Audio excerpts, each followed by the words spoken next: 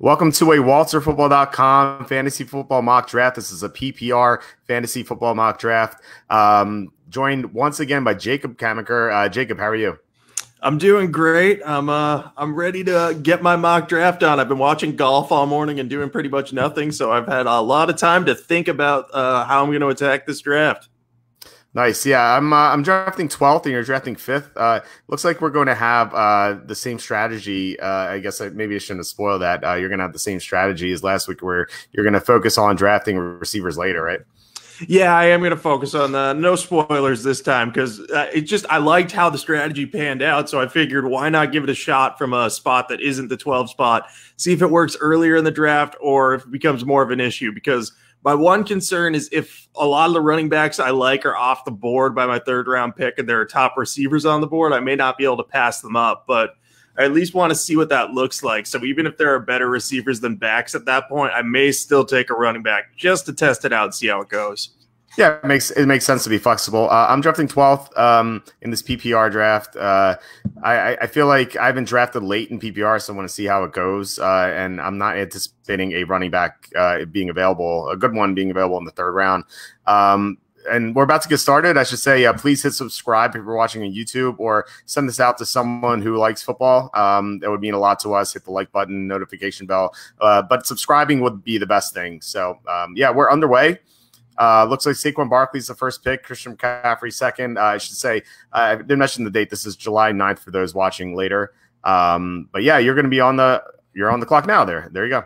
Yeah, no surprise. The top four backs are off the board, so the, the fifth pick kind of is a bummer a little bit for me in PPR. So I kind of I have a tough decision to make, but I'm going to go with Josh Jacobs here because um, I want a good running back. Obviously, I want someone with pass catching potential. I'm worried about Dalvin Cook staying healthy. I'm worried about Derrick Henry staying healthy after touching the ball 400 times last year um, and having a deep playoff run. So I was between Miles Sanders and Josh Jacobs. Both are kind of unproven at this point, um, at least in terms of longevity. But I think Jacobs has a, a better offensive line because uh, the Brandon Brooks injury in uh, Philadelphia.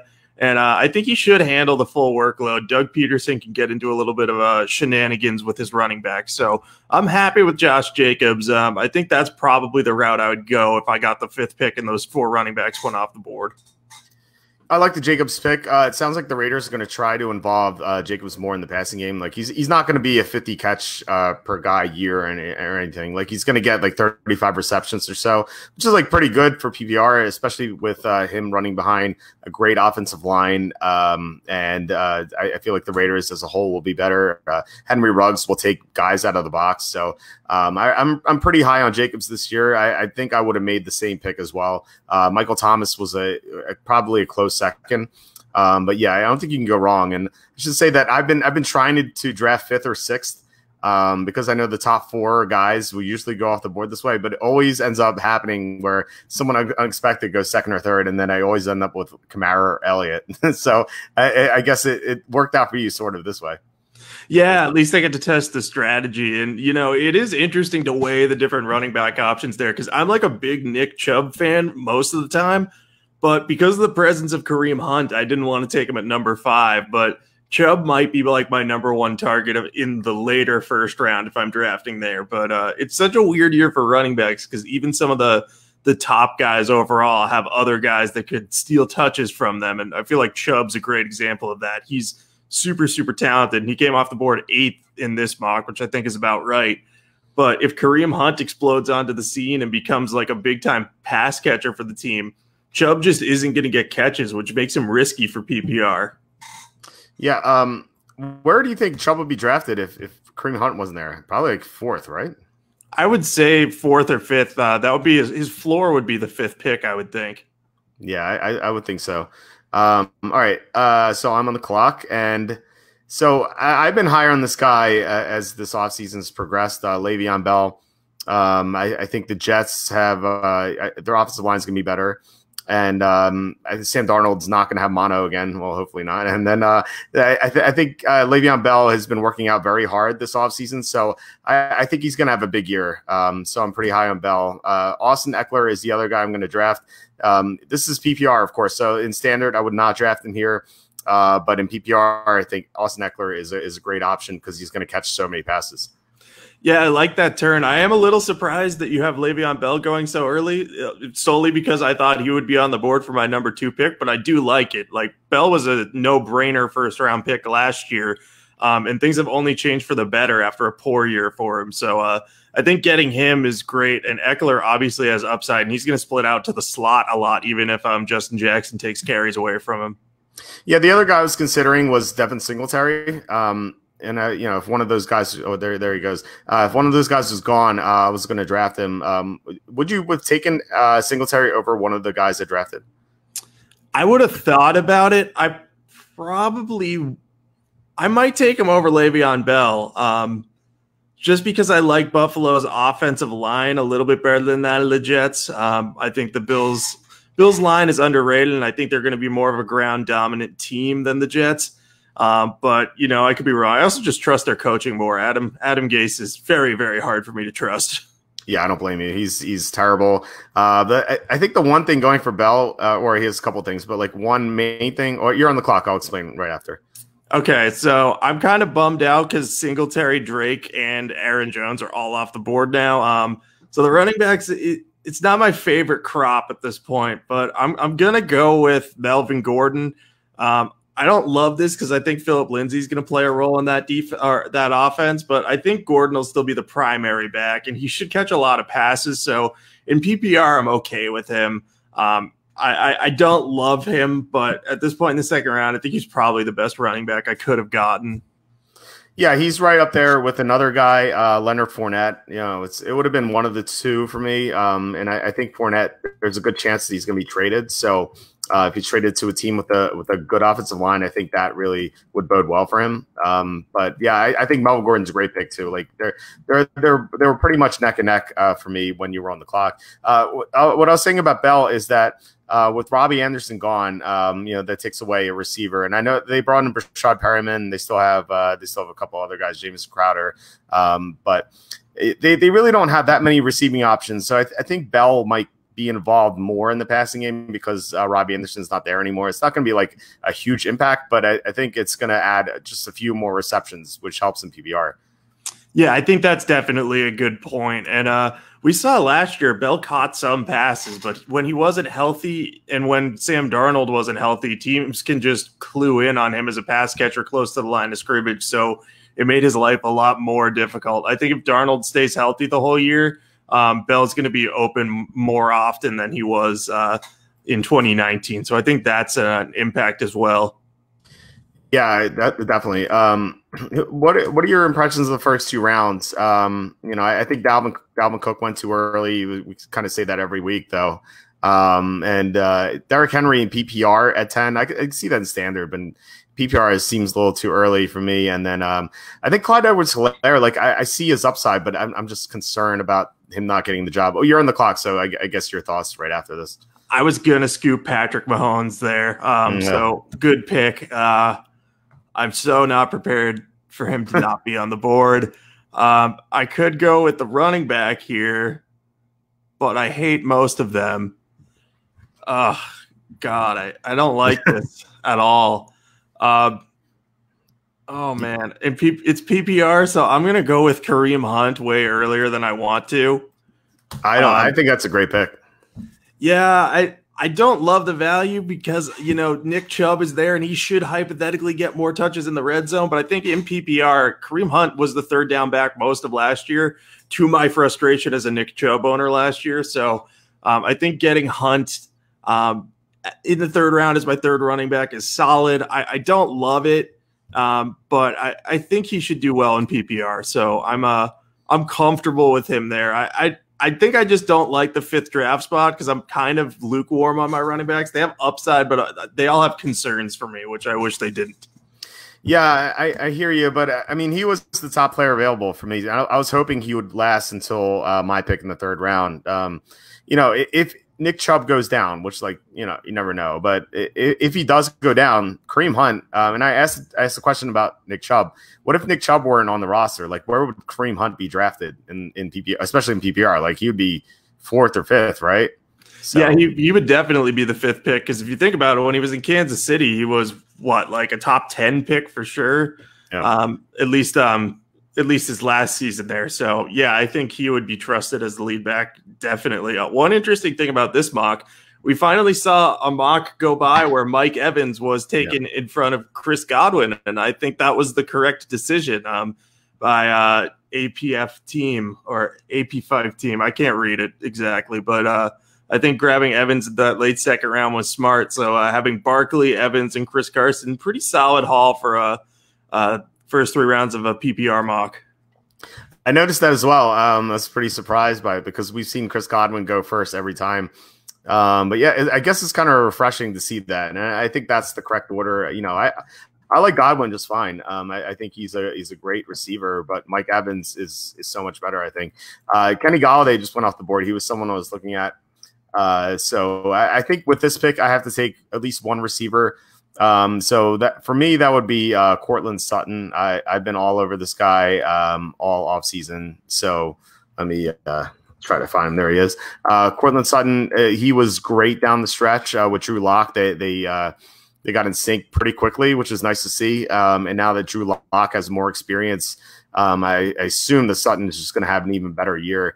Um, the other the other pick, um, you know, David Johnson is the top player available on my uh, cheat sheet. Um, and I, I, guess I have to. I'm going to stay true to it. Uh, you know, I, I, hate this because I know he's going to get injured. Um, but he can, when he's healthy, he's going to be able to produce pretty well for me. Um, I, and I, th- I think in PPR, if this were standard, maybe I wouldn't take him here. But PPR is like that's his bread and butter. Like he's going to catch a ton of passes. Uh, so I like not crazy about this pick. Kind of like I sound like you were with uh, Kareem Hunt. Like not, I'm not very excited, but um, it just got to stay true to my draft board. And Johnson, despite his uh, his downside, he has a ton of upside too. Yeah, and I think where you're drafting me as a uh, your third running back, you should be in okay shape. Um, if he gets hurt, you'll ideally have someone on the bench who can replace him for a few games, whether that's a receiver or another running back. So um, I actually like the decision to take him there. Um, I think he has a lot of upside in PPR too. Um, I, I, used to love David Johnson. I would take him every single year in the first round. I took him over Ezekiel Elliott once, which was a terrible decision, but I won my league anyway. Um, so you know he he can he can be one of those top tier guys. It's just a matter of will he ever stay healthy again? And I have my doubts, but in the early fourth round, there weren't many running backs better than him.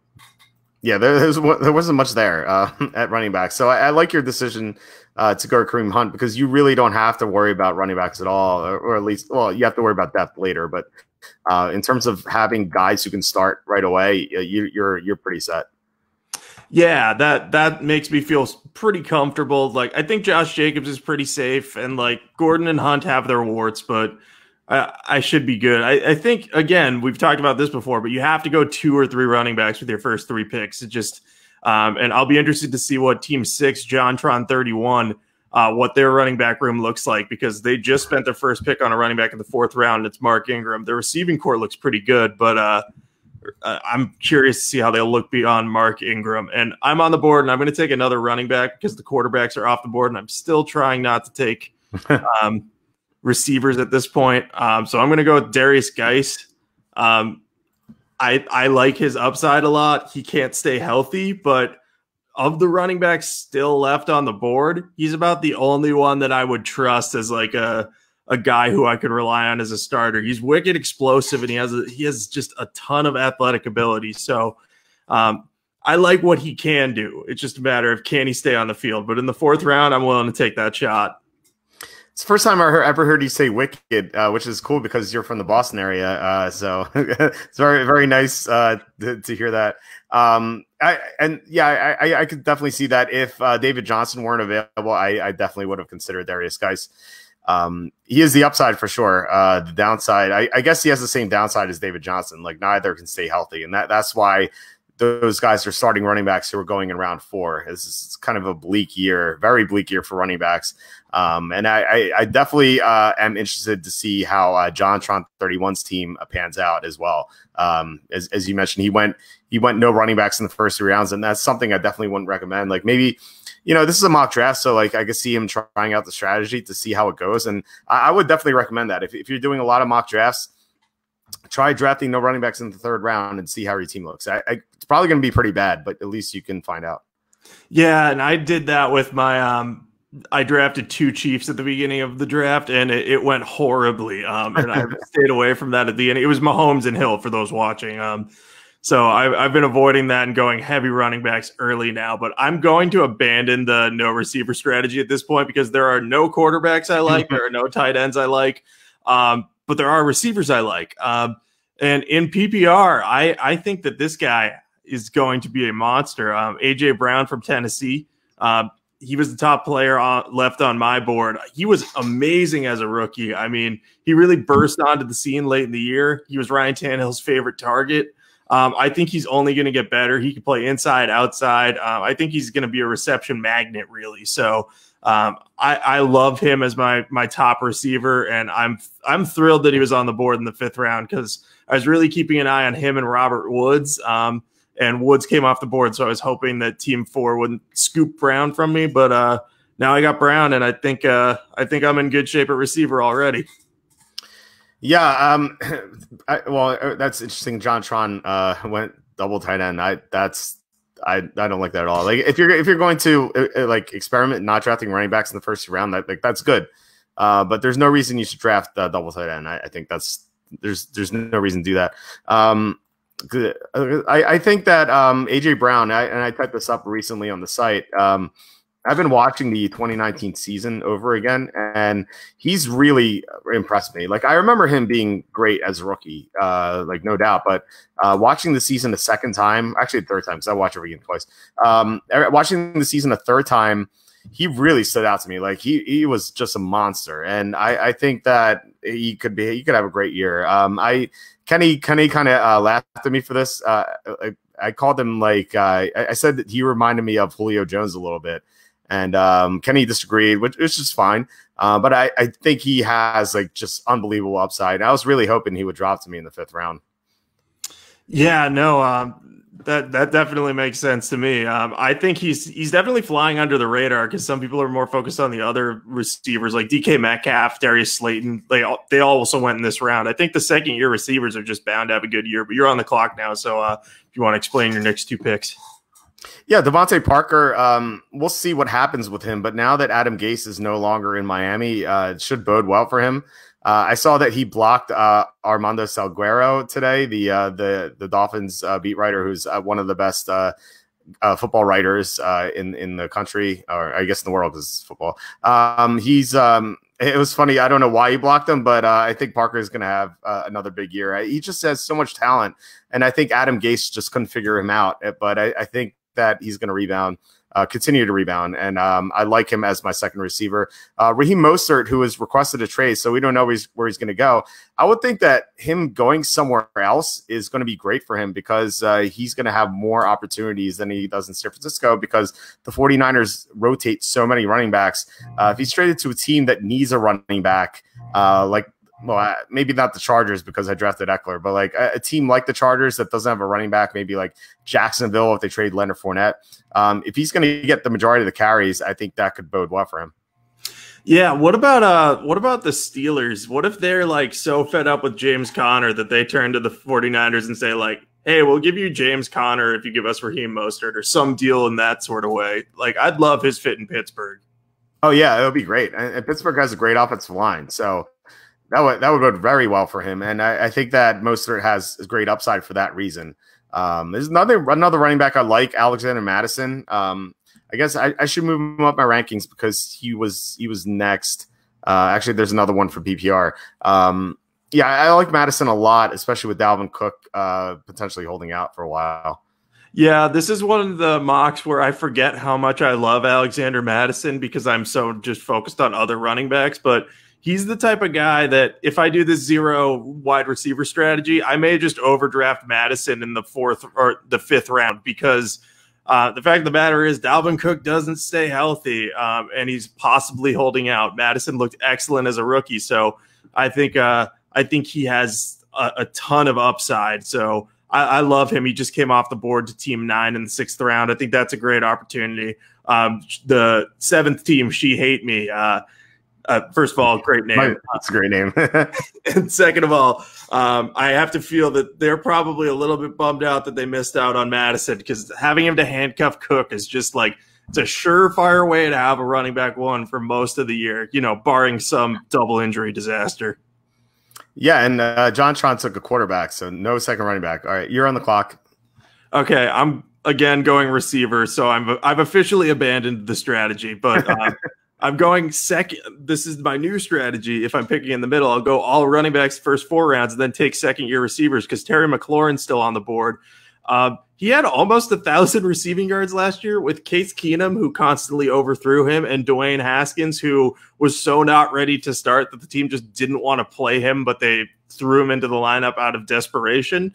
Um, I think he's going to be much better off. He was college teammates with Haskins. He was a rookie last year, and he put up massive numbers. So uh, having him as my second receiver, I think, has a ton of upside. And uh, there's not a lot of guys who can take away targets from him in that receiving corps. I know, uh, you know, Steven Sims is solid in the slot, and I like his upside, but uh, McLaurin in the sixth round's a no brainer to me. Yeah, was a great pick. Was uh, one of the top players available for me, and um, I, I, definitely would have drafted him on the way back. Uh, probably should have considered him, um, you know, in, in, my spot. But I, you know, I, I think with four running backs, and that's something you have too. I, I think four running backs in the first six rounds is pretty pretty cool uh, this year. Uh, you're on the clock again.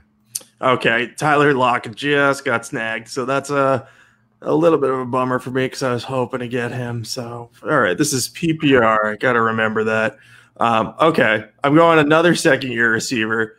This is Deebo Samuel time. Again, he may be he may miss the first six weeks of the season. He may be totally fine. Um, I hope they don't rush him back, but I'm drafting him solely based on upside here. If he was fully healthy, he probably would go in the same range as AJ Brown, if not earlier. He's the top receiver in that San Francisco offense and was great as a rookie. So um, I like him there as my third receiver. I won't have to play him until he is healthy. So I think that's a it's a pretty good value. And the, the way my team's shaking out right now, I, I really like it. We are young, but we have just a ton of explosive ability. Yeah, I like your team a lot. I, Samuel is someone who really intrigues me. Um, and you're right. I mean, he would go a lot earlier than this if he didn't have that injury. And it sounds like that injury is not going to not going to cause him to miss too many games, uh, which is great news. Uh, so it wouldn't even surprise me if he plays week one. Like he may not be 100%, but uh, he could definitely take the field by then. It's a, it's kind of a late start for week one too. I think it's like the the 11th or 13th or something like that. It's like it's like pretty far down because uh, Labor Day is a little bit later this year. Um, so that that should definitely help him. So I, I, I like that pick a lot. He was someone I was going to consider as well um, at the turn here uh, coming up in a couple of picks. Um, I, I, am not a fan. Uh, we, we've we've had in the in round six and seven, we've had four quarterbacks uh, chosen. I, I can't say I'm a fan of that, especially PPR. Now, if this were standard, I could understand it a little bit more. I uh, still wouldn't like it that much, but PPR, I mean, quarterbacks matter so much less than running backs and receivers. Uh, so you know, especially someone like Dak Prescott, I, I just feel like you can get someone like that in round nine. Yeah, the Dak Prescott going ahead of Russell Wilson, Kyler Murray, and Deshaun Watson again just makes me want to like punch a wall. Like it just it pisses me off so much. But uh, you're on the clock, so we can talk about that after. talk about the wall punching later. Yeah. Um, so I have four running backs already. Uh, I don't see the need to go quarterback yet, uh, like not even close. Uh, Will Fuller. So I have a, a, Texan running back, so it's not ideal that I'm going to draft a, a, Texan receiver. But David Johnson is my third running back. Will Fuller is my third receiver. Um, I, I, just think that Will Fuller is uh, has so much upside. Uh, especially with Hopkins gone, now he's the number one receiver. Uh, he tends to get injured a lot, so that's a concern. Um, so maybe I, I, have a pretty risky team here, but um, I, I, think that I, I, just I just love his upside so much. Um, and like I said, like he's my third receiver, so he doesn't really have to start. Uh, CeeDee Lamb is my next pick. Uh, I've, I've been drafting him uh, pretty frequently in these mock drafts. Um, he's the best. Well, he and Jerry Jeudy were just awesome. I, I feel like they're both going to have great years. Uh, but Lamb is in a more uh, of a passing attack offense, even though Elliott's there. Like Dak Prescott uh, threw for a bunch of yards last year, and I, I just think that with Amari Cooper fading down the stretch, uh, as we've seen a lot, I think Lamb could just have a big rookie year. Yeah, no, I definitely like both those picks. I love the Fuller pick because, you know, if he was healthy all the time, I feel like he'd be a a, a guy who would go in the top 60 picks every year, but he's just never healthy. So he always falls because people know he's going to get hurt. But as your third receiver, he has upside. And Lamb's a great guy to have as a backup because, you know, even if Lamb starts the year slowly, he's eventually going to work into the rotation more there and get some targets because Prescott likes to spread the ball around. And um, it's basically Cooper, Gallup, uh, Lamb, and Blake Jarwin are the top four weapons on that offense, and they don't have a ton, a ton of depth. So um, I, I, like that pick. Um, my favorite rookie receiver just came off the board though, Jerry Jeudy. So uh, props to uh, Gav Team Eight for uh, grabbing him. Gav has a pretty good team overall. Um, uh, did a good job of balancing receivers and running backs and not reaching for any other positions. So uh, hat tip to him. Yeah, I love I love his team. Um, teammate, if you're if you can't see the name, uh, yeah, it's uh, I think it's great, very well balanced. He didn't take a quarterback or tight end, which I'm a fan of, and I, I like a lot of his picks. Uh, you're on the clock. Okay, so I don't have anyone here that I that I really love. No, wait, no, I do, I do. I'm going another young receiver. It's the other Dallas receiver, Michael Gallup. Um, so people like overlook this a lot. Gallup had over a thousand receiving yards last year. Um, and I feel like I heard absolutely nothing about that. And I know he's more of a deep threat, so his PPR appeal is a little more limited than that of Cooper and uh, maybe Lamb as a rookie. But um, as my fourth receiver, having him available to fill in while Deebo's hurt or um, if anything else comes up, I, am I'm, I'm cool with that because the Cowboys offense is going to have to score a lot of points to uh, stay competitive. So I feel like Prescott will spread it around. So I'm uh, I'm happy getting him at this juncture. Yeah, it's a, it's a good pick. Um, he was someone I was way higher on before the Lamb uh, draft selection, um, and it's kind of it's kind of a shame because I, I thought that like like you, um, no one was paying attention to Gallup at all, and he made such a big leap in his second year. Uh, it's kind of a shame for him that he's not he's now going to have fewer targets. But you know, like we saw last year, Amari Cooper tends to fade. Like we, he always does that. Uh, so maybe down the stretch, Gallup is the two and Lamb is the one, or or vice versa, I guess. Um, so yeah, I like that a lot. Uh, and, and, the Cowboys, they they weren't really like going into the draft, uh, you know, thinking about a receiver. They they loved Lamb. Uh, but they they they thought they were going to draft uh, K'Lavon Chaisson. They didn't think that um, that Lamb would be on the board. Um, and like we've we've had uh, we've had good success uh, calling the Cowboys picks. Um, they were definitely going to take Chaisson, uh, but Lamb was very unexpected. They did not expect him to draft to, to drop to them, so they kind of took advantage. It's a good pick, um, so definitely can't blame him for that. Uh, you're on the clock. Yeah, so I was hoping Philip Lindsay would make it back to me. I didn't. I thought he'd have more chance to get back to me than Michael Gallup. So a little bummed out that I couldn't handcuff Melvin Gordon with him, but I'm going to handcuff Derrius Guice instead uh, with Antonio Gibson. Gibson was a third round pick. Ron Rivera's compared him a little bit to Christian McCaffrey. Um, not much, but he's said like a McCaffrey type role. So, um, and Scott Turner's offenses have had running backs lead the league in catches, I think, at least two of the past uh, three years. So, someone's going to do it in uh, Washington. If it's not Guice, my money would be on Gibson. It's probably a little early for him, but I'll spend uh, spend on that to get the handcuff and to get a PPR threat. So, uh, yeah, I'm okay with that at that point. Yeah, uh, Gibson. I, I, just I just kind of discovered that I don't have Gibson in my uh, cheat sheet, uh, and that was because when he was drafted, I didn't know whether to designate him as a running back or a receiver. Uh, so I, I just I, I, kind of in the back of my mind, I, thought like, okay, once I know for sure, I'm going to put him in because uh, on my spreadsheet I have to put a position or else it'll break. Uh, so I I didn't have a I don't have him in my cheat sheet, but now that like it's kind of clear that he's a running back now, um, and obviously could eventually become receiver. But now, now that he's going to be running back this year, um, he'll be in the cheat sheet uh, next week, or I guess in I guess in two weeks uh, because I'll be in Vegas next week. So uh, no no fantasy mock draft next week, uh, but we'll be back in two weeks. I know you're going to be on vacation, so I'll have to uh, to get like uh, Kenny or or maybe Charlie Campbell to to do a mock draft. Yeah, definitely. Um, so I'll I'll watch from vacation, but I can't guarantee the Wi-Fi will hold up enough in uh, rural New Hampshire, which is where I'm going. So Yeah, I, I, the last time I went somewhere with dubious Wi-Fi was my honeymoon in Bermuda, and I well, I'll, I'll tell that story when uh, after I pick, make a pick. Um, so Josh Allen and Damien Harris just went. I, I think I like Harris later in the draft. I, I think it's a little uh, early for him right now. Um, so I'm, I'm still going to stick to the running backs and receivers. Uh, so where am I? Let's go to running backs. Uh, I like Nyheim Hines this year in PPR. Uh, Frank Reich talked about how um, he thinks Hines could catch 10 passes in some games this year. Uh, which kind of like really intrigued me. Uh, so we've seen Philip Rivers turn Austin Ekeler into a receptions machine. So I think Hines could have like a similar impact, even though there, there are a lot of running backs there. So obviously he's not going to be like Ekeler because of uh, Marlon Mack and Jonathan Taylor. Uh, but you know, he's I still think he's he can be a nice plug and play. Um, looks like Anthony Miller is on off the off the board. No, no, he's not. I have to uh, switch to running back receiver. All right, there we go. Anthony Miller um, down the stretch last year, he caught a ton of passes, and it was, was Mitchell Trubisky kind of like started running sometimes, which I was kind of worried about with Miller. Uh, but Miller's reception total went up a lot, and I, I read somewhere, I forget where, uh, this offseason that Miller really improved his work ethic in the middle of the season last year, kind of like kind of figured it out as a pro. Um, and the receivers coach for the Bears talked about how Miller continued to work out uh, very well uh, this offseason. So that, that kind of made me pretty uh, bullish on on Miller. And I'm, I'm hoping that Nick Foles wins the job there. And I, I think he will. Uh, if he will, that, that that's going to bode well for Miller because uh, Foles is not going to run nearly as much as Trubisky can.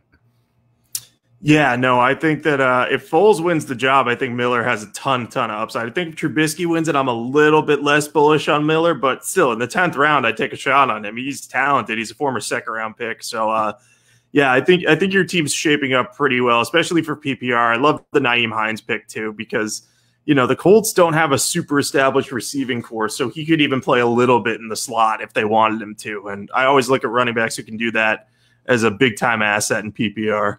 Yeah, uh, looks like John Tron. So uh, we can circle back to John Tron's team here. Uh, his running backs are Mark Ingram, James White, Tarik Cohen. Um, can't say him. You know, I think his running backs are, are pretty pedestrian. I, I, I, wouldn't like. I, I get that he's trying to strategy here, but I, I just I think that uh, it kind of proves that you have to go running back early. So you just you just took Aaron Rodgers. You want to explain? Yeah, he was available in the tenth round, and I've been trying to get him in the tenth round, like each of our mock drafts, but he keeps getting scooped to pick before me. So I'm uh I'm thrilled to get him. Um, I love Aaron Rodgers this year. I think he's going to be playing angry because of the Jordan Love pick, and even though his supporting cast isn't great, um, I, I think he he has as good a chance as anyone to be a top five fantasy quarterback if he can stay healthy. So uh, we'll see what happens. But tenth round, there's no risk with Rodgers.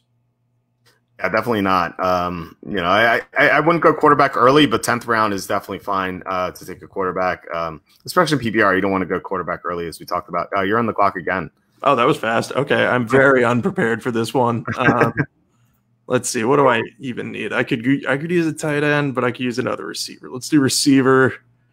Um, I feel like feel like I'm going to go with Golden Tate because uh, I like the Giants a lot this year. Um, it's late in the draft, um, and I, but I think they're going to throw a lot. They don't have a great defense. They're kind of they're similar to the Cowboys in a way, which is why I don't get why more people aren't onto the fact that the Giants could win the East. Um, in that they have a not great defense, but a fantastic offense. So I think Golden Tate should get a bunch of catches um, for the Giants. Um, he showed a solid rapport with uh, Daniel Jones last year, so uh, I'm comfortable with him as my fifth receiver. Yeah, it's a, I, I think it's a good pick. I mean, he's he had some good performances, uh, definitely on the stretch. Uh, Cam Newton just went. Um, and we talked about how uh, I don't know if that's Gov or Gav, um, uh, but I, I like to see him a lot. And to, to take a quarterback in the 11th round, 10th, 10th, 11th round range, I think is what you want to do. Um, and I, I definitely like the value with Cam Newton in the 11th round. Yeah, I love that pick. I love his team in general. The only pick that I didn't love was I think he went Michael Pittman a little early. There were other receivers I would have taken, but overall, that team looks rock solid to me. Yeah, absolutely. So I have five running backs, five receivers. I'm on the clock. Uh, do I take another running back or receiver? Um, maybe. Uh, so I, I, I probably go. I probably want to go tight end. Um, I love Mike Gesicki this year. I talked about him in previous drafts. Um, Gesicki's going to play the slot in Chan Gailey's offense, which is going to mean that he's going to uh, catch a lot, lot, of passes. So I, am definitely a fan of his um, this year. Um, and I probably should delete that. All right. Um, my other pick, um, kind of uh, might be running out of time here. Oh, I, I, I had some guys who uh, were, were off the off the board on my on my cheat sheet. Um, looks like uh, I'm going to go receiver, and I, I, think I saw this guy earlier. Okay, Breshad Perriman, um, kind of double stacking with the Jets, which may not be like the best idea, but um, Breshad Perriman is going to be the number one receiver with the Jets, uh, presumably. Um, and he was so good down the stretch last year. Like he was a first round pick, and yeah, it, it looked like he finally figured it out. Um, so I, I, think that's a good sign for him. Uh, so I, I, think that could potentially mean that he carries it over into 2020. Yeah, I could see him finding success with the Jets. I think he's worth a flyer at this point. Um, either way, um, I love the Mike Gesicki pick. Um, I've been playing a lot of Madden lately, which is not a good reason to get into fantasy uh, players, but uh, you should see him in the Jacob Camenker Miami Dolphins offense led by Andrew Luck with Antonio Brown. He's insane. He just does so much good. So really, yeah. Uh, but anyway, either way, I think he's in for a big year. He was always a great receiver. The questions were about his blocking. He wasn't well rounded, but in Chan Gailey's offense, if he's playing this a lot, like look out. I think he could be the big breakout tight end that everyone wants Hayden Hurst to be this year. Yeah, it's true. And and you're on the clock now. Okay. Um, so I also need a tight end, but I also could do something else. but I'm unprepared to do anything but take a tight end, I think. So let's see. Yeah, I'm gonna do what I do and just take tight end late and go with Austin Hooper again. Solid pick. I mean, uh, you know, I, I don't think he's gonna have the same production um, that he had in Atlanta because a lot of that came in garbage time. Uh, but I mean, he's he's gonna be one of Baker Mayfield's primary weapons, and uh, Mayfield. It's kind of like you know hurting for weapons if Jarvis Landry's not 100, percent which doesn't sound like he is. Uh, so I, I think that I think that Hooper could have a solid year. Um, it's like a lot of guys are are, are auto drafting at this point because like three guys just got taken in a row uh, with Preston Williams, Ruggs, and DeSean Jackson, um, and then like this is um, this is the antepenultimate round. That's uh, third to last. Uh, those of you who don't like fancy words. Um, uh, Sterling Shepard was another guy I considered uh, when I when I was on the clock. Uh, so that's I think that's a good pick. And you're up again. Yeah, I would have considered Sterling Shepard. I did actually consider him over Golden Tate, um, but I ultimately went in a, the Golden Tate direction. Now, uh, at this point, there are not a lot of players on the board that I really care about. Um, so I am going to I'm going to take a player that I never thought I would take in a fantasy mock draft, but uh, Jerick McKinnon. Uh, he's been injured for two full years, but if Raheem Mostert does get traded, he will man the backfield in San Francisco along with Tevin Coleman. So, you know, at this point in the draft, there's some upside with him. And even though I constantly think his name is like Jerk McChicken or something, like I'll give him a shot. Like as my sixth running back, if he doesn't pan out, I can always scoop up whoever else might be the handcuff in San Francisco, whether that's uh, Jeff Wilson Jr. or a yet to emerge player. Pretty sure there's a Jerk McChicken kicker I can probably take in the 15th round. Um, I, I think McKinnon definitely has upside here uh, for sure. Um, you know, I, I read a report yesterday saying that he hasn't begun cutting yet, but that doesn't mean that he can't begin cutting in a month or so. So um, if if that does happen, um, I, I think you know you could end up having a great steal here in the 13th round. Um, I, I, definitely think the the 49er running backs are worth exploring, and I, am not really sure where to to rank them yet because we don't know if Raheem Mostert is going to be traded or not. Uh, but if he is, I mean, I think you have to heavily pursue these these uh, 49 running backs. And um, speaking of 49er running backs, um, I think this guy should be available. Uh, he's not. Uh, was he drafted earlier? Uh, Jeff Wilson Jr.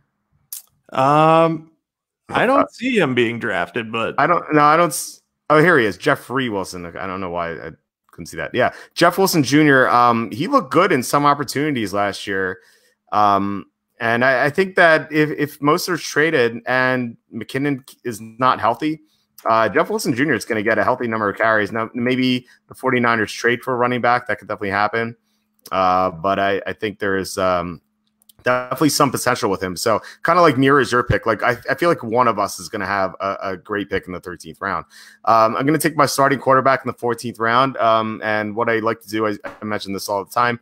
Uh, I like to rotate quarterbacks throughout the year. I, I, won a fantasy championship last year playing Eli Manning in two playoff games and then Daniel Jones in the championship because um, I, I, drafted Cam Newton late and then he got injured. Um, So I kind of had to rotate the entire year, and it was like the most fun I've ever had playing fantasy. It's like rotate rotating quarterbacks. Um, I've done that before, um, but it was really it was it's like so, so fun to like figure out which quarterback to pick up each week, and uh, it's something I'm going to explore a lot, especially with how how thin the running backs are this year. Um, I, I feel like you really need to load up a running backs. You have to make sure you take three early, and then you have to have good depth in the middle rounds. Uh, so I'm going to uh, try to take a, a quarterback late once again. Yeah, a part of me is actually like very angry that you picked Jeff Wilson Jr. Like, I don't think this would happen in a real draft if I took one of the 49ers depth guys, but I was like, oh, yeah, I'll take McKinnon now, and then Wilson won't get drafted, and then I can always pick him up. But if that happened in, in like a real draft, I would probably be like, I can't believe that happened. So, uh, yeah, well, well done on that pick. I think that one has a ton of upside. And anytime you're late in the draft and you need a running back, my advice is just take someone on the 49ers because Shanahan mixes them up enough that, you know, one guy goes down and you may have a guy who's going to get 10 or 15 touches in a game. Yeah, can you imagine if Mostert gets traded and then Tevin Coleman gets injured? Like one of us is going to have a an RB2 at the very least uh, because the 49ers block well. So, you know, one of those guys is going to do great, I think. Yeah, absolutely. Yeah. Um, any any picks that stand out to you late here in the draft? Uh, like for me, I, I think uh, Allen Lazard. Um, I think he has a ton of potential as the Packers' second receiver. Like the Packers didn't address the receiving corps at all. Like maybe they're just super high on Lazard. Yeah, I like the Lazard pick a lot. I like getting Adrian Peterson in the 13th round. I considered drafting him, but I didn't want to have three Redskins running backs on my team because um, that would feel like overkill. Um, but I think he's pretty safe bet to get some carries. Uh, I'm also a fan of Duke Johnson in PPR um, being picked at this point because, like we said, David Johnson doesn't stay healthy, and Duke Johnson is a good receiver anyway. So I feel like he's a he's a solid pickup. So uh, props to Team Ten, which is C, for uh, getting that done. Also, I'm not drafting a defense. If I was going to, it would be the Indianapolis Colts uh, because they're playing the Jaguars uh, week one. Just draft them. It's not that hard. Uh, but I'm going to take Daniel Jones because I don't know why he was still on the board. Uh, I wouldn't take two running backs in an actual draft unless there was an insane value like Jones on the board late. So um, that's why I'm going with him. Uh, uh, speaking of the Colts uh, defense, I think they're a great defense to have, not just for week one, but the entire year. Uh, they played the Jaguars twice, um, including week one. Uh, they played the Texans twice, uh, and Houston's offensive line is so bad. And they played the Titans twice, and the Titans don't have, um, you know, they have Ryan Tannehill. It's not like they have a great offense or anything. Um, so I, I think I think they could have a great defense this year with DeForest Buckner uh, in the interior. If Xavier Rhodes uh, bounces back uh, to 2018 uh, and and prior form. Uh, I feel like the Colts could have one of the better defenses in the NFL, and you know, obviously that would translate to fantasy. So um, I, I, would definitely recommend there. I, I probably, you know, I, I feel like I, I, would be tempted to take them in the 14th round, uh, but then I had to take my starting quarterback. Yeah, no, I, I, definitely would consider them. I mean, 14th round, they were available. They're still available, so I'm just going to take them now. But I think it just makes a lot of sense. Like you said, their schedule's not that hard, and they start the season pretty well. Um, again, the, there may be holes in the secondary that can be exploited if Xavier Rhodes doesn't pan out. But if they're a good enough team, uh, one, they'll still generate sacks and pressure and turnovers, and two, they may trade for an upgrade. So I'm uh, I'm very happy landing them, and every single mock we've done that I've drafted to defense, I've gotten them. So people don't seem to be on to the whole the Colts defense is going to be good uh, bandwagon enough, at least. Yeah, I think people are behind on that. I, I don't understand why they don't see that. Like maybe maybe as the summer progresses and like if if uh if like a major publication uh points out that the Colts have a much better defense this year, uh, I, that could definitely change. Uh, but right now the Colts are very undervalued, not just here but overall. Um, I think when we went over our Super Bowl um, uh, 55 picks uh, a couple days ago, I went the Colts like 24, 25 to 1 or something like that to win the Super Bowl. And I thought that was just great value. Yeah, they were. They were, I think, 24 to 1. So the, people just haven't caught on to the fact that they're one of the top three teams in the AFC and that they could overtake the Ravens, not e- not necessarily easily, but they match up well against them. Um, I think a lot of people just aren't sold on Philip Rivers, but uh, I think they should be. Yeah, and I mean, even if like Rivers doesn't really have much to do with the defense, you know. So uh, but so if we're just talking about fantasy, um, it makes a lot of sense. Um, but you know, overall, I feel, I feel like even if Rivers like Rivers can't be that much worse than Jacoby Brissett was last year. I, in fact, I think he'll be better, um, especially with Brissett being injured late in the year. Um, so I, I, think that the Colts are a great, great play at 24 to 1. Um, looks like I'm going to take uh, Elliott Fry. Um, I didn't see Jerk McChicken here as a kicker. Uh, but Elliott Fry sounds pretty good to me. Uh, so that's that's it for our draft. Uh, do you want to go over your team? Yeah, this is once again. I like taking a lot of running backs early, and I'm confident in my core there. Josh Jacobs, Melvin Gordon, Kareem Hunt, Derrius Guice. Three of those guys should be solid starters, even if Hunter and Guice have some uh, questions. That's fine. Gibson's a solid handcuff in the ninth round, and McKinnon, as we talked about, it's a good upside pick. Um, my receivers are very young and they have a lot of upside, but then I also have Golden Tate there as a insurance uh, or security blanket in case one of them struggles or Deebo Samuel can't come back for his injury as quick as I'm anticipating. And getting Rodgers and Daniel Jones in the 10th and 15th, 14th rounds is insane to me because I think both of them are potential QB ones this year. Uh, so I'm I'm very confident with my team. Um, I got Austin Hooper at tight end again. That seems to be my go-to in the 12th round. So I, I think this is a very competitive team overall. And uh, while I didn't stick to my avoid receivers strategy, um, I don't mm-hmm. think it works quite as well as it did um, picking in the 12th round. Um, I, I, would still go with the four running backs in the first five rounds if possible. Yeah, I love your team. Uh, you're you're great at the top at running back. Uh, you know, uh, even like Josh Jacobs, like ideally you would want one of the top four guys, uh, especially in PPR. But I think Jacobs is going to have a great year, and uh, I, I love your other running backs, especially if Guice stays healthy. Like you're going to have so many good running backs that you can even trade one uh, for for something else if you know maybe for receivers get injured.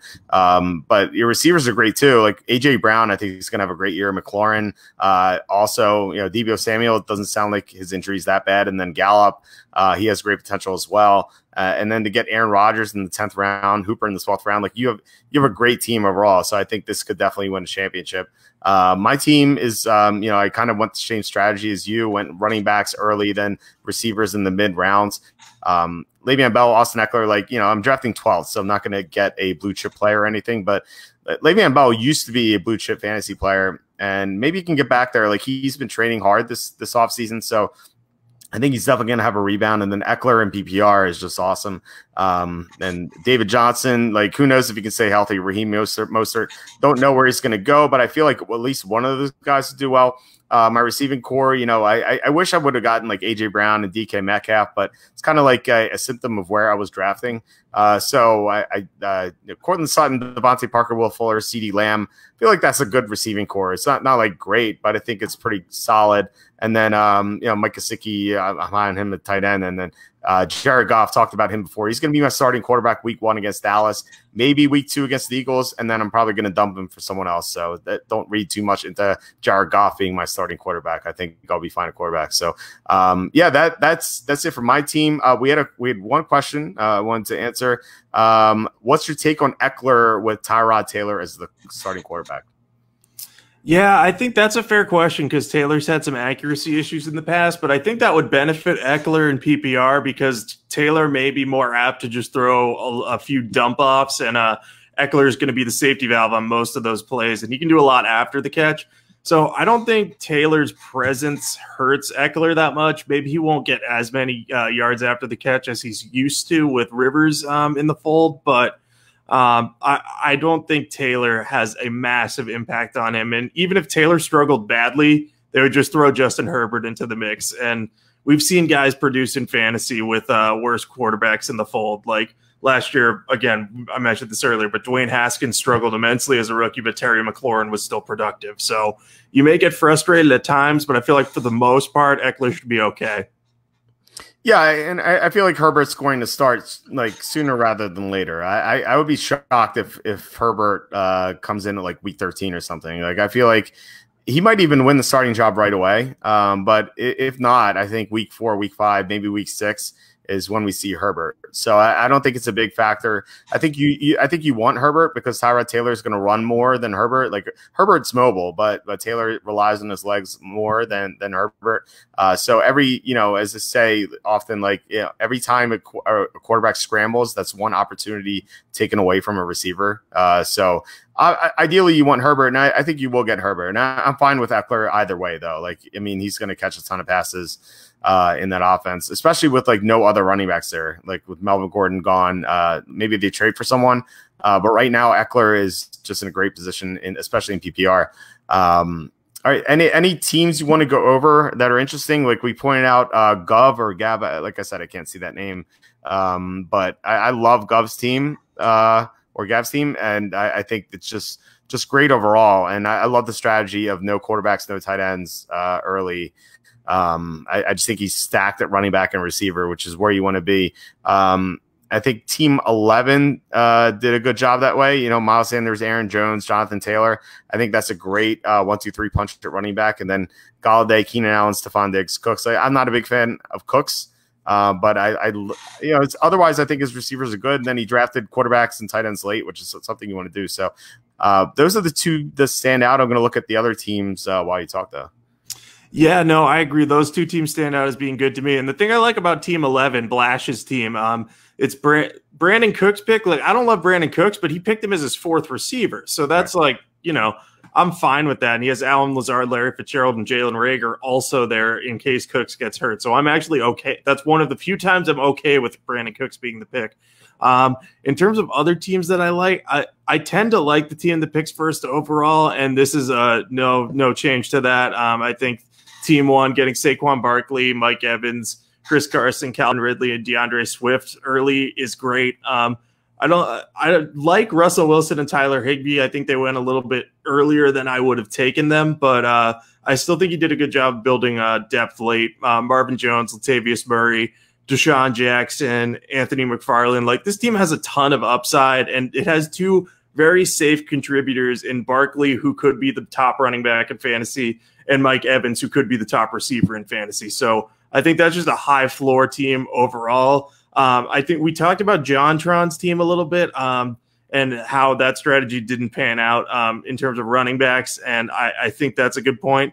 Um, another team that had a uh, interesting running back strategy was Team Seven. She uh, she hate me again, great name, but they took Dalvin Cook and then didn't take another running back until uh, the seventh, sixth, and seventh rounds, going Damien Williams and Jordan Howard.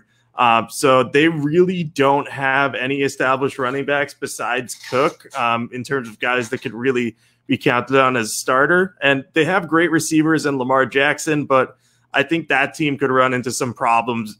If Cook goes down, that team is in big trouble at running back. Yeah, I think so. Um, just goes to show that you need running backs, and he, you know, if, if Cook holds out, he doesn't have um, he doesn't have a clear cut starting running back. Like Damien Williams might lose his job. Uh, Jordan Howard may lose his shot to Breida. Uh, Justin Jackson may may not get any carries at all. Uh, if you know if Kelley stands out or if they trade for running back, um, you know there there are no guarantees there. It just looks like a like a potential disaster. I, I feel like he should have gone running back in the fourth round rather than Lamar Jackson to kind of like shore up his running back corps. And don't don't draft Dalvin Cook in the first round. Um, at least you know if he ends his holdout, sure, but he's holding out. Like you don't know how long that's going to last. Uh, like look at Melvin Gordon last year. He missed several games. And if you drafted him early, like you were burned. So I, I wouldn't draft Alvin Cook. And like he he's never even played a full season. So I, have kind of like I was already bearish on him, and like now it's worse. Um, team four is a, another team I wanted to talk about. Um, you know, like he started well with Alvin Kamara and Patrick and uh, DeAndre Hopkins, Patrick Mahomes, but kind of like fell apart after that. Um, if you look at his running backs after Kamara, he has Cam Akers, who may not win the starting job. Marlon Mack could lose the starting job. Kerryon Johnson might be irrelevant. Uh, Zach Moss might be irrelevant. Um, and then it's his, his second receiver, Cooper Kupp, and his second running back, Cam Akers, are from the same team. Um, I, I, think that's something you want to avoid. Now, I, I know I drafted uh, David Johnson, and Will Fuller, but they were my third and third running back and third receiver. I think that's okay. But your second running back and second receiver should probably be in other teams unless you're like getting great value or, or something. Um, and I don't, I really don't see those guys as great values. Um, you know, like like I said, Akers may not win the starting job, and Cooper Kupp is, uh, you know, he, when Jared Goff started playing right away, Cooper Kupp he really leaned a lot on Cooper Kupp, but it looks like he's preferred Robert Robert Woods as his top receiver now. Um, so I, I I don't like his team overall. You know, like Patrick Mahomes is great, but I think that you know drafting a quarterback in the third round of PPR could could really hurt your your other positions, and it looks like that's what happened. And and and also he only has three receivers. Oh yeah, that's actually weird. I did not notice the whole three receivers aspect of it. I, I like um I like Cooper Kupp a little more than you, but Robert Woods was still on the board, and I would have taken him over that. Um, I, I, think the running backs, like one of them, should pan out hypothetically between Akers, Mack, Johnson, and Moss, but they are all risky, like you said, and you don't want to have a ton of risk at running back. So I, I think this is the classic example of a team that early in the season could be really strong but if that second running back never really emerges, then it's going to be really hard for them to sustain a high level of play as injuries might strike, especially at receiver. If you get like, if Tyler Lockett gets banged up and misses a game, you have no one behind him. So that's uh, kind of kind of an issue. So um, I, I, don't mind the strategy in the first three rounds, but I agree with you. Should he should have taken a running back instead of Cooper Kupp. Um, uh, D'Andre Swift was still on the board at that time, so I probably would have gone that route. Um, that would be my choice. Yeah, I would think so. And if he takes a running back there, uh, that pushes Kupp. Um, so maybe he gets Kupp in the fifth round. If not, then he gets one of Robert Woods, AJ Green, or or Calvin Ridley, which you know still sounds good to me. Um, so yeah, I, I, I don't I don't know. I'm not not a big fan there. Um, otherwise, I, I think everyone else did like like fairly well or or better. Um, you know, we, we talked about some of the teams that we didn't like. Like, uh, yeah, she hate me. I, I agree with that. Um, and then uh, you know some of the other teams uh, didn't do as well. But but I think overall, like uh, I, I, like this draft. Uh, some some pretty sharp picks. Um, last week was insane. I, I, feel like last last week was the best group I've ever drafted with. It was, it was crazy. Uh, this this group did well too, uh, but there were there was a couple dubious teams. Yeah, I would agree with that. I think overall it's pretty strong. You can tell which which teams are probably experimenting with different strategies too, so that makes it helpful to you know associate um, those teams experimenting and say, okay, this probably wouldn't happen in a real draft, but this person's just testing something out. But yeah, last two weeks we've had a really sharp draft group. So uh, props props to the guys who've come out and uh, participated for sure. Yeah, awesome. Yeah, definitely. Um, I, I guess that's about it. Uh, do you have anything to add or anything to plug? Um, I don't have anything to add, but you can follow me on Twitter at Jacob Camenker. I tweet golf picks weekly. Now we're on week one of me tweeting them weekly and actually remembering to do it. Um, and I also got a bunch of uh, football content coming out about the Redskins, uh, thoughts on the Patriots. Uh, so you can follow me on Twitter at Jacob Camenker. I'll uh, have all my thoughts there uh, throughout the coming weeks in the lead up to training camp. Sounds good. Justin Rose needs to do better. Um, that's all I have to say about that. Uh, so yeah, uh, please hit subscribe. Uh, once again, that would mean a lot. Or hit the like button, uh, notification bell, like all that be, would be great. I'm at walterfootball.com. Tons of fantasy content is coming uh, we have our season previews. We have our quarterback rankings, ranking all the starting quarterbacks for 132. Um, and then everything else, like uh, Charlie Campbell's posting draft prospect rankings for 2022. He already did 2021. Now he's doing 2022. So, uh, you know, if you're if you're looking uh, like down the road at the draft, uh, you know, you can see uh, which which prospects are coming out soon uh, in a couple years. So uh, yeah, that that's about it. We're not, as I said before, we're not going to have a fantasy uh, mock draft next week because I'll be in Vegas. Uh, but we will be back in two weeks, and um, you know, and you're going to be vacation. So I guess I'll talk to you in three weeks. All right, sounds good. Have fun in Vegas. I'll talk to you soon. All right, have fun. Have fun on vacation too. Uh, talk to you later. All right, thanks. Bye.